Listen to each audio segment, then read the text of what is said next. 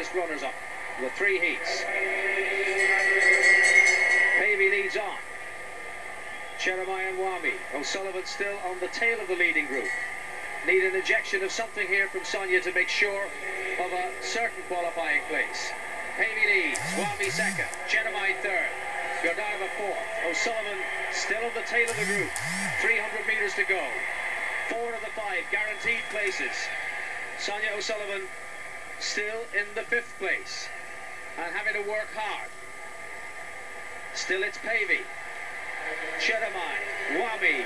Now O'Sullivan goes and has overtaken Yordanova and into the home straight. And having bided her time, she presses the foot of the gas and goes. And Pavey's gone and O'Sullivan's into the home straight in front. Pavey trying to respond. Four of the five. The work is being done behind Sonia O'Sullivan now, who is in command of this heat and coming home to claim her place in the final by a distance. Sonia O'Sullivan leading the qualifiers home. The race on for the other three places. O'Sullivan first, Pavey second, Nwami third, Cheromei fourth.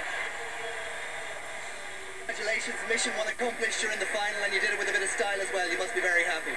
Yeah, I'm really pleased with that. I think um, today is one of those days that, you know, you shouldn't really be nervous, but you get very nervous. I think more so, you know, than any race at all, whether it's even a final, because, you, just, you know, it's the first day out on the track and I don't know, I was having difficulty talking today, but you know, I got out here, I enjoyed it. I realised, you know, once I stepped on the track that, you know, it's not that bad at all. It's what I love to do, and you know, I really enjoyed it.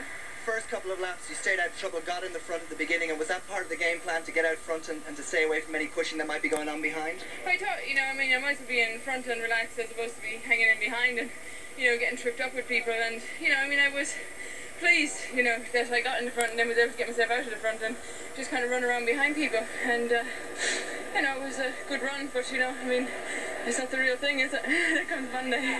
Midway through the race, there was a serious injection of pace, and you were able to stay with it. You went with it very comfortably, and again, that's good to go into the final with that sort of test behind you. Oh yeah, it's great. I mean, you know, you know that there can be anything happen in the final. We'll see the other heats who's in, and you know what's going to happen. And um, I'm sure it'll be a fast pace. There'll be no one sitting around relaxing. I'm sure it'll be quite hard from the start, and I hope to